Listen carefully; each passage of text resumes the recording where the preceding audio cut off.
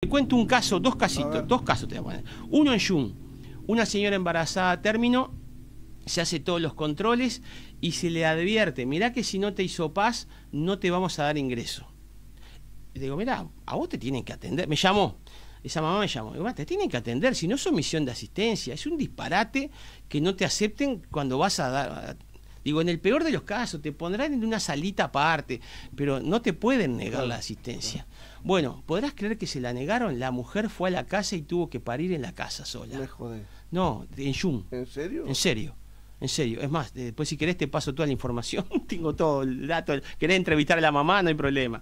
Este, bueno, entonces, vos fijate Ahí yo me puse como loco, llamo por teléfono al hospital, hablo con la directora, me pasan con la directora, le digo, pero usted estudió 10 años para terminar en, prisión, en cana por emisión de asistencia. ¿Usted se da cuenta si a ese bebé le llega a pasar algo? Hoy por suerte la nenita tiene dos o dos años y medio, está preciosa.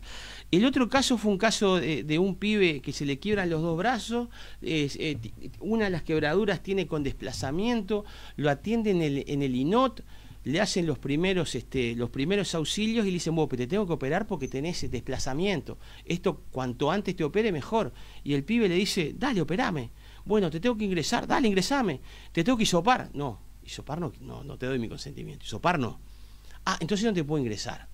Lo terminaron operando en el CASMU, pidiéndole de favor a Raúl Rodríguez, el presidente, y tuvimos que mover toda una maquinaria de favores cuando el INOT lo tendría que haber operado. Eh, lo atendió,